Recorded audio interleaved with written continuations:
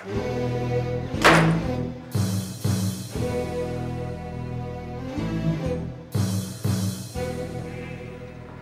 يا عطيات طيب. إما وريتك. إما رجعتك تبيع كرشة تاني في اليوم زي أمك مبقاش أنا عبد الدسوقي يا عطيات لا وجايبالي مين؟ عبد الحليم؟ عبد الحليم؟ عبد الحليم؟ عبد الحليم الزبالة اللي سكت الحاجة الحاجة.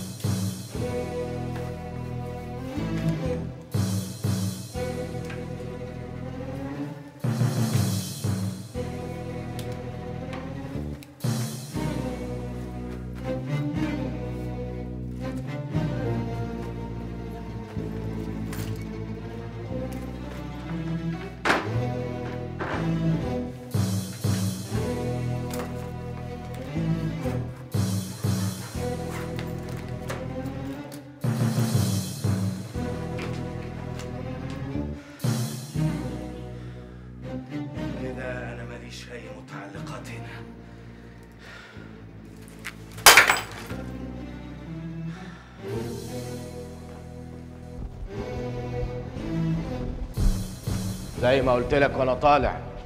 ساعة زمن تكون لميت حاجتك انت ومراتك وعيالك ومفيش مخلوق يعرف انك هتيجي تشتغل عندي في الفيلا. انت تؤمر يا باشا بس حضرتك ما قلتليش المرتب زي هنا برضه؟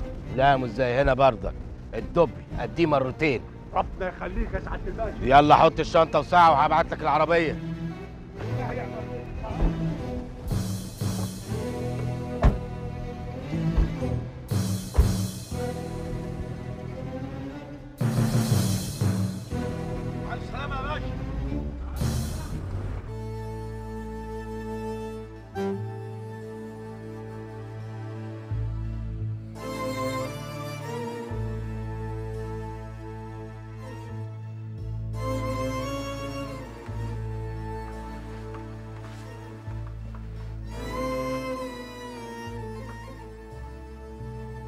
سيد شندي مش كده؟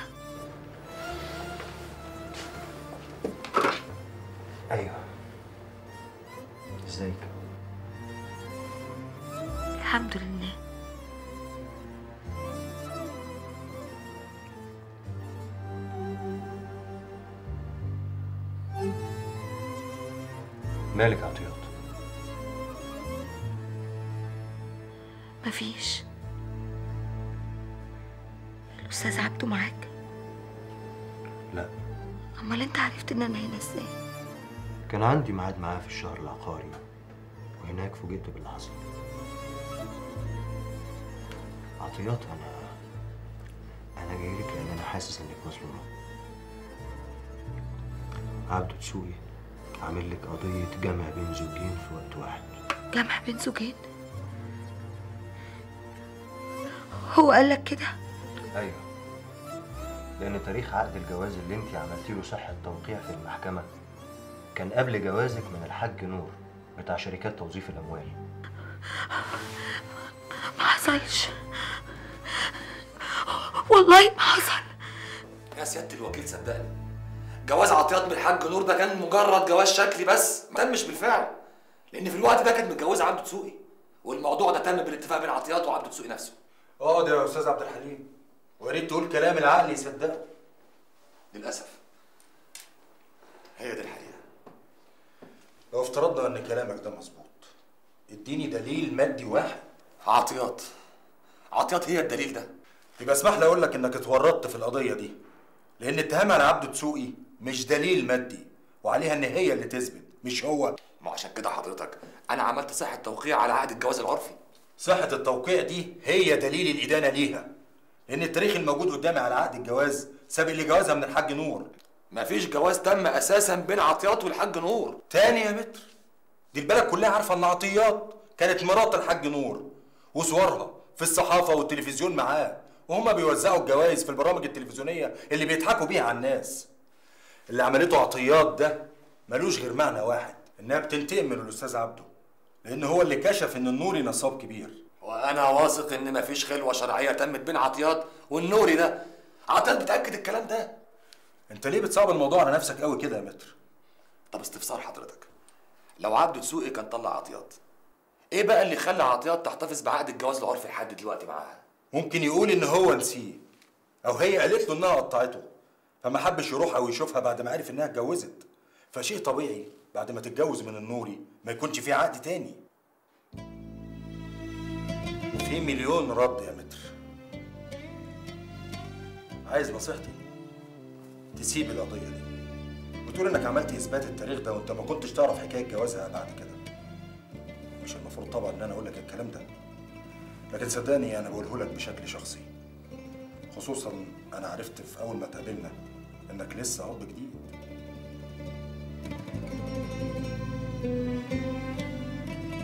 ها؟ وبعدين يا متر؟ يعني هو قال للوكيل النيابه إنه ما كانش يعرف إن عطيات متجوزة النوري. آه آه. عشان كده وكيل النيابة خرجه. أي. آه. آه. لا. لا. اسمع أنت ما تعملش حاجة خالص. ما تتصرفش أي تصرف يا متر. أيوه. أنا بعدين هكلمك واقول لك هنتصرف معاه إزاي بالظبط. طيب أوكي. مع السلامة. مع السلامة.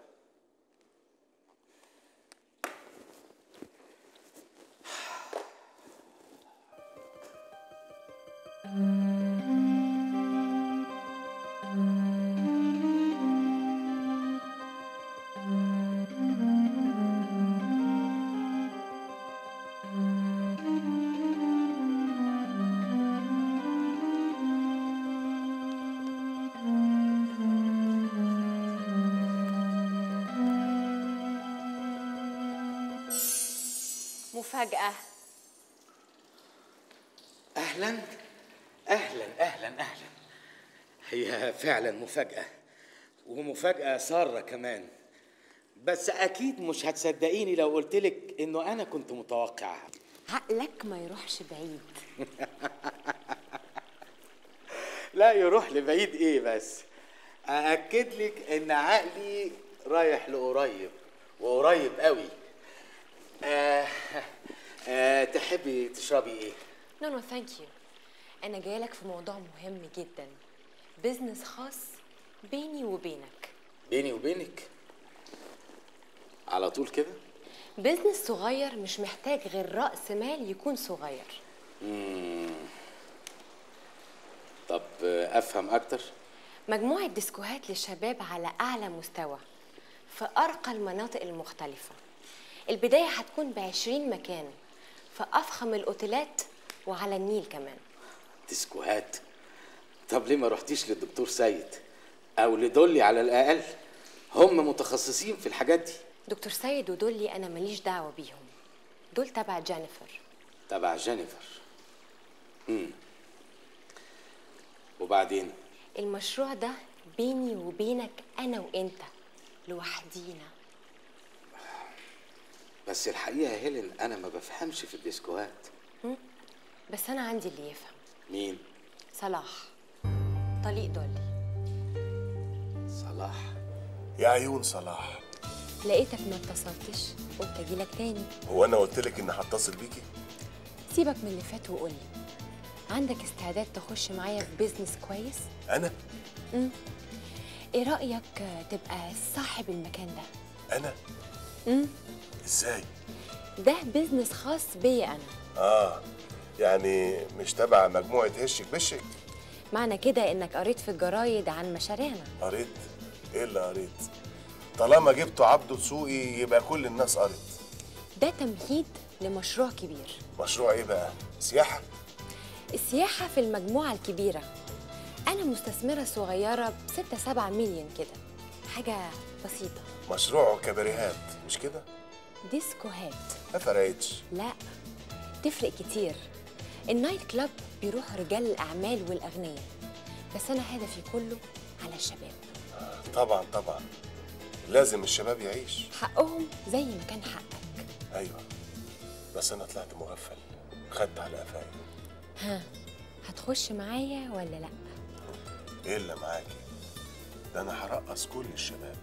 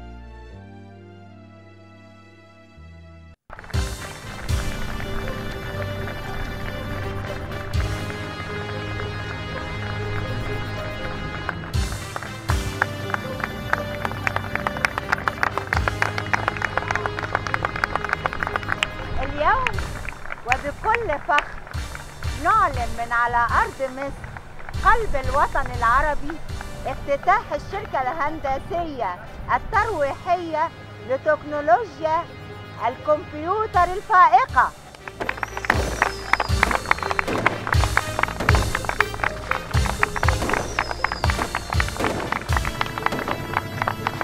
في الحقيقة الشركة العملاقة هي مجموعة شركات تقوم على تسويق وتوزيع وتصميم برامج الحاسب الآلي. كما أن أهم فروعها هو تقديم الاستثمارات في كل المجالات وإقامة المشاريع السياحية الكبرى في أجمل بقاع مصر الساحرة. الفخر لنا بأن يقوم البنك الدولي تحت إشرافنا وإشراف الأستاذ الدكتور سيد شندي والأستاذ شافع والأستاذ صالح وبمعاونة الصديق والصحفي العالمي عبد السوقي وبإدارة رجل الأعمال الناجح ممدوح فوزي. إننا بذلك نفتح المجال أمام رجال الأعمال الجادين في كل المشاريع الخاصة وندعوهم إلى منافسة شريفة. وأدعو أيضا كل من لديه فكر جديد لمشروع حضاري يفيد أكبر مجموعة من الناس فأهلا به. أي مشروع هيتقدم لنا وهنوافق عليه هنبدأ التنفيذ فيه فورا. مدام هيخدم الأطفال والشباب اللي هم رجال المستقبل. شكرا.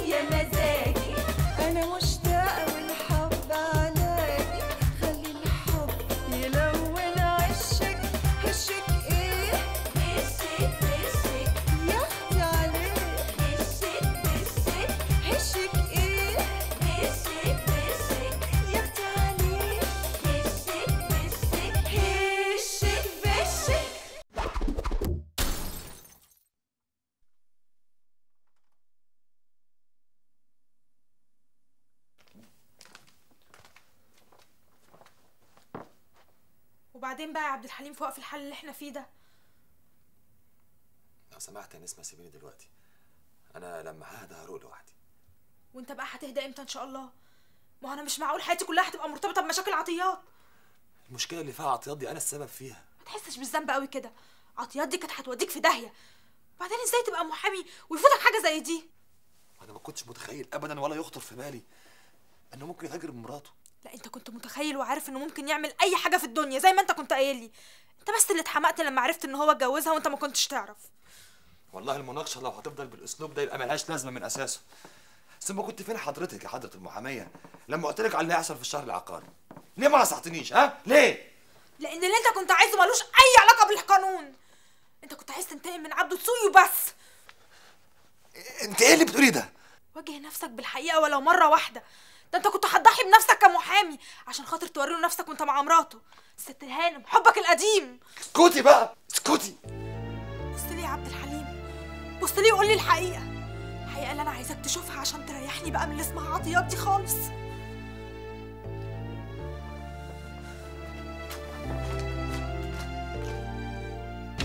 لا لا يا باشمهندس الشغل ده مش عاجبني خالص. يا صلاح بيه أنا عامله حسب مواصفات المكان ومساحته والمواصفات دي مش عجباني. وعلى فكرة ما تقوليش مفيش وقت لافتتاح الخميس الجاي. يا باشا. مفيش لا باشا ولا بيه. في شغل في فلوس. إحنا بنعمل أكبر ديسكو في المنطقة كلها. وبعدين إحنا عايزين نعالج الشباب من الأمراض النفسية اللي هم عندهم دي. مفهوم؟ أمراض إيه يا باشا؟ أنت هتعمل ديسكو ولا مستشفى؟ ظريف قوي يا باشمهندس. يا ريت بقى تنفذ اللي قلت لك عليه بالحرف الواحد. حاضر اتفضل. هانم. برضو برضو صلاح. اسمها صلاح. آه بقول لك إيه؟ تعالى أفرجك على الشغل.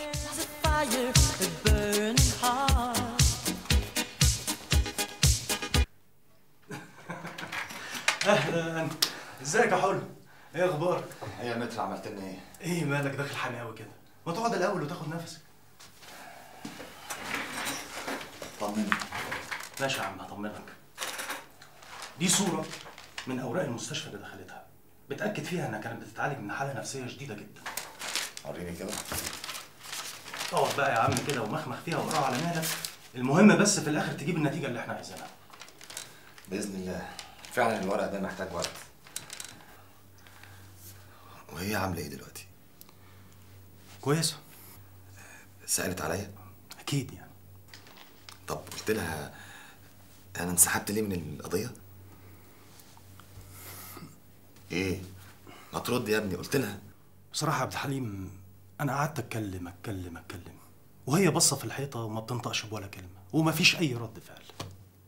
لحد بقى ما لحد ما إيه؟ لحد ما شفت دموعها نازلة على خدها. بصراحة ما قدرتش أستحمل منظرها كده. رحت سايبها وقايم. على فكرة يا عبد الحليم واضح إن الست دي مظلومة بجد.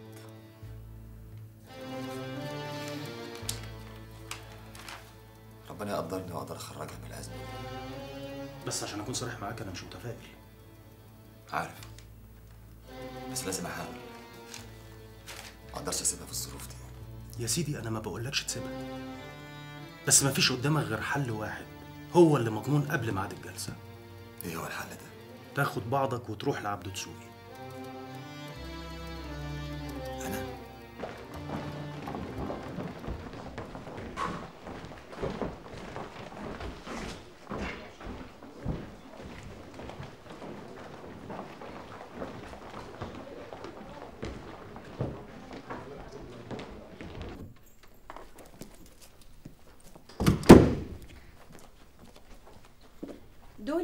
عشر أبحاث اتقدموا الأسبوع ده. رجعتيهم؟ أكيد طبعا رجعتوا أهم واحد فيهم من وجهة نظري بيتكلم عن إيه؟ رصد لبعض شركات القطاع العام اللي بتخسر بالملايين كل سنة. طيب ده يخص الدكتورة جينيفر. أنت رئيسي المباشر هنا في المركز ولازم أعرض عليك كل شيء من البداية. وفي هشك برضه لازم تعرضي عليها هي الأول. أنا ولائي دايما بيبقى للمكان اللي أنا مسؤولة عنه. أنا على العموم رايح لها بعد ساعة. ممكن ابديه لها ليه؟ ما هو الكمبيوتر أضمن وأسهل وأسرع. طيب في أبحاث تانية مهمة تخص دراسات المركز؟ آه في. في بحث من شاب واضح إنه مكتئب وعامل دراسة عن الشباب والهجرة للخارج. ده يهمنا جدا في الدراسات الحديثة لفكر الشباب الجديد وخصوصا نظرتهم للواقع والمستقبل. خدي راجعي ده كده وقريه وليه رأيك. مم. المشوار الطويل من أجل الحرية. ده عن كتاب نيلسون مانديلا. عايز أتكلم عنه في المحاضرة اللي جاية لشباب الجامعة الأمريكية.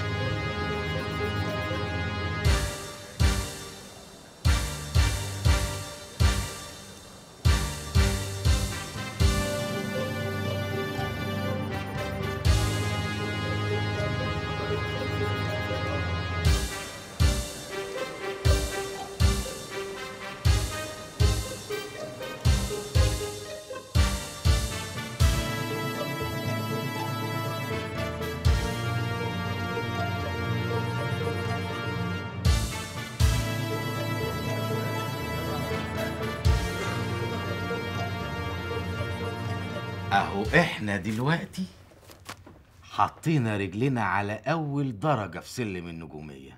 ده بس عشان في ناس زي حضرتك بتخطط للدعاية وشكلها. يا دولي أنا يهمني جدا إنك تنجحي.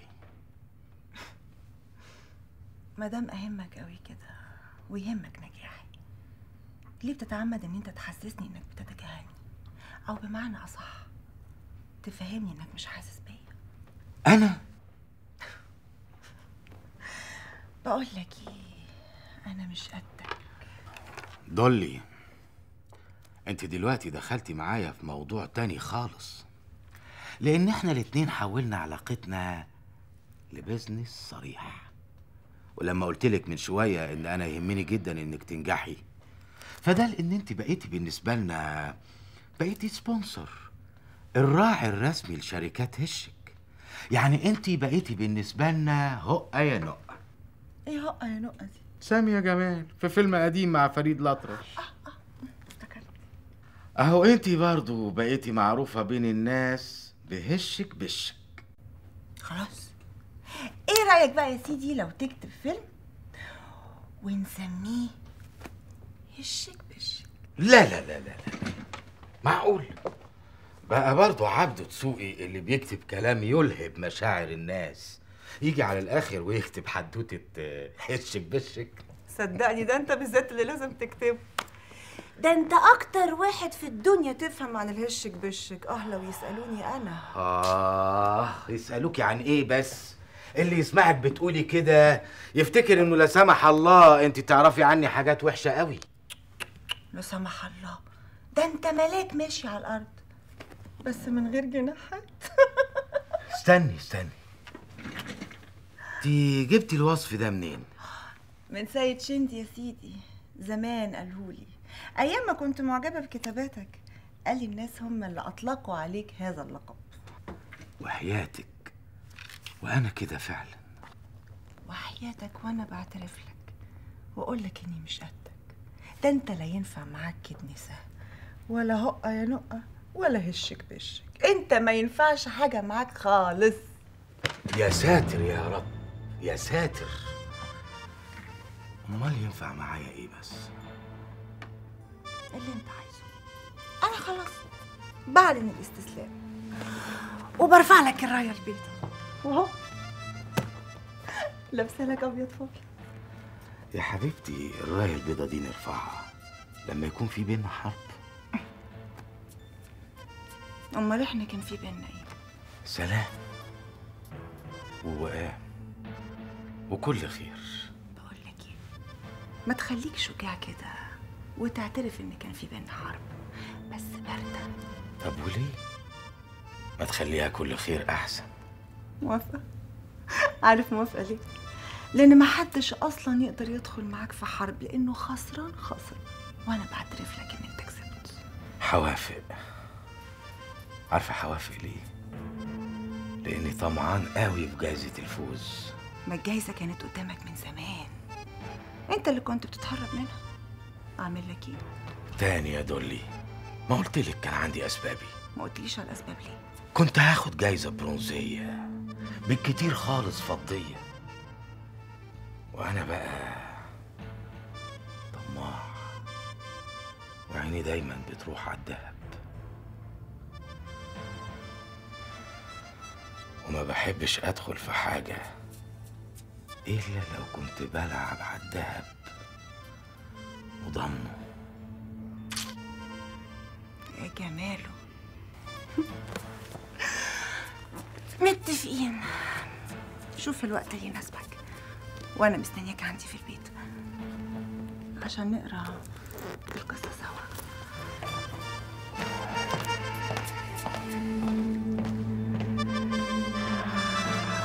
أخيرا هنقرا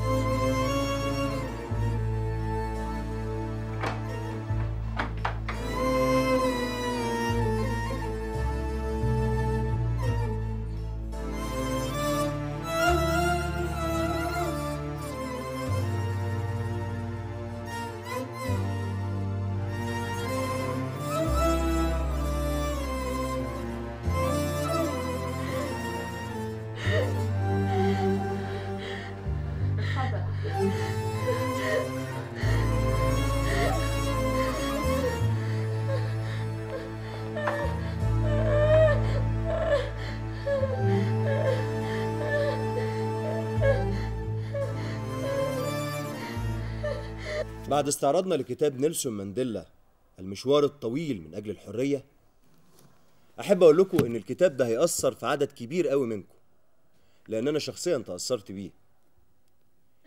أنا اتعلمت من الكتاب ده إزاي ما نخجلش من مخاوفنا وإزاي إننا نخجل إذا فشلنا في مواجهة المخاوف دي. ده اللي عمله نيلسون مانديلا وده اللي إحنا كلنا لازم نعمله لازم نبدأ بمواجهة الخوف اللي جوانا لأن المشوار طويل نحو التنمية الاقتصادية. ده لو كنا عايزين نحقق العدالة الاجتماعية. عشان كده عايز أقول لكم إن المرحلة اللي جاية أهم مرحلة في حياتنا. مرحلة محتاجة شغل كبير جدا على الأبحاث. ده إذا كنا عايزين ننمو بمجتمعنا. واللي قدموا أبحاث في مركز ابن زيتون أحب أقول لهم إن الأبحاث دي تحت الدراسة والاهتمام بكل التفاصيل اللي فيها.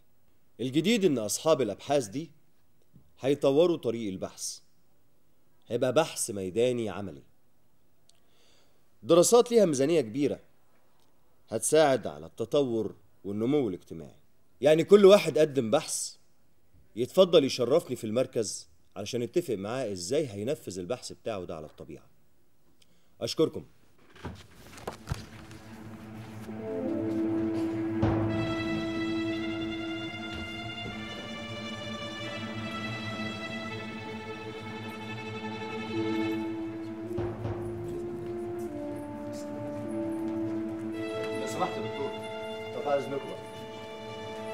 وسهلا يا دكتور سيد. أهلا بيك يا دكتور.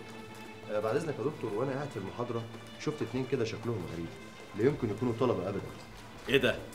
ده حضرتك أول ملاحظة وإحنا ما نعرفش. لا مش للدرجة. إيه حكايتهم بقى؟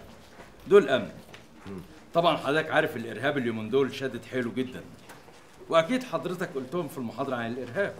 لا يا دكتور أنا ما اتكلمتش في المحاضرة عن الإرهاب. أنا اتكلمت عن الحرية والقهر اللي موجود جوانا.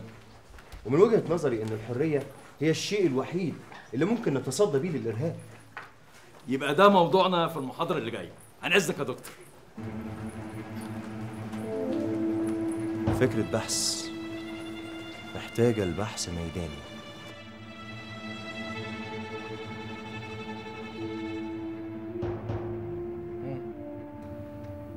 ما كانش في داعي لإجراءات الأمن والتفتيش اللي عملوها معايا دي قبل ما أطلع لك.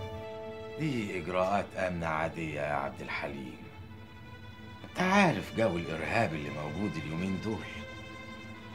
ومع ذلك أنا لو كنت عرفت إن أنت كنت فهمتهم إنك أقل من إنهم يفتشوك.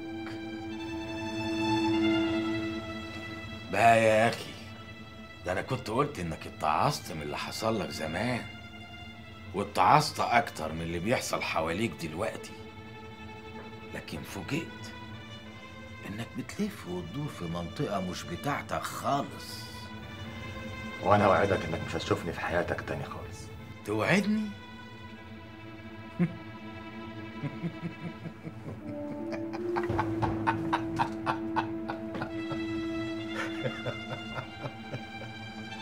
حلو. لا حلو. اسمع يا عبد الحليم يا غريب. أنت زمان تجاوزت حدودك معايا. إنما المرة دي بقى أنت عديت الخط الأحمر. اعتبرها غلطة ومش هتتكرر. خصوصا إن أنا مش جاي لك عشان أنا. أنا جاي لك عشان ترحم عطيات. أرحم عطيات؟ أنت جاي لها واسطة يعني. لا مش بالمعنى ده. بس كنت عايز أقول لك يعني إن عطيات حالتها بقت وحشة قوي وأنا بحذرك يا عبد الحليم يا غريب. أنت كده وأنا ألغامي ما بتموتش. لكن تعيشك طول حياتك عاجز. واظن أنت عارف كويس إن إحساس العجز ده وحش قوي اعتبره يا سيدي رجاء. خدمة. خدمة من خدماتك اللي بتقدمها لأهل أليوب. أنا أعرف إن اللي بيبقى له عين يطلب خدمة. ما يكونش قبليها عامل عاملة بعدين تعالى هنا قول لي. أنت من إمتى عطيات تهمك في حاجة؟ وشفتوا بعض إزاي؟ وازاي اتقابلتوا في نفس الشهر العقاري اللي أنا فيه؟ وازاي اتقابلتوا في نفس اللحظة اللي أنا كنت فيها هناك؟ ما ترد مين اللي دبر ده كله؟ أنا اللي رتبت كل حاجة. آه. وكنت عاوز تعمل بطل على حسابي. لا وهي كمان طوعتك وراحت معاك. معاك أنت بالذات. ما كفاية بقى يا أستاذ عبده اسمع يا عبد الحليم يا غريب. أنا لو كان في قلبي ذرة شك واحدة تخليني ممكن أتعاطف مع عطيات دلوقتي ما بقاش. عطيات مريضة مريضة جدا ومش محتاجة إنك تتعبها أكتر من كده. يا حنين يا حنين. طب يا أخي تشفع لنفسك الأول. وإذا كنت فاكر إن عشان النيابة خرجتك بعد اللي أنت قلته هتبقى مش مدان. فانت غلطان. اللي حصل في حقي ده يا عبد الحليم جريمة ولازم أنتوا الاتنين تخشوا السجن بسببها. أنا آسف. آسف أوي إن أنا جيت لك. كان لازم أعرف إنك هتفضل طول عمرك إنسان حقير. اخلص! بره كان لازم أفهم إن اللي اتربى بفلوس حرام هيفضل طول عمره كده. بره ابعتي لي حد من الامن يطلع الحشرة ده بره ماشي. يا عبد أنا بقى مش هسيبك. وبقولها لك هنا في مكتبك. وقدام حراسك دول. نهايتك يا عبد ونسوي هتبقى على إيدك. استنوا! الجدع ده ما يخرجش من هنا. واطلبوا له البوليس حالا.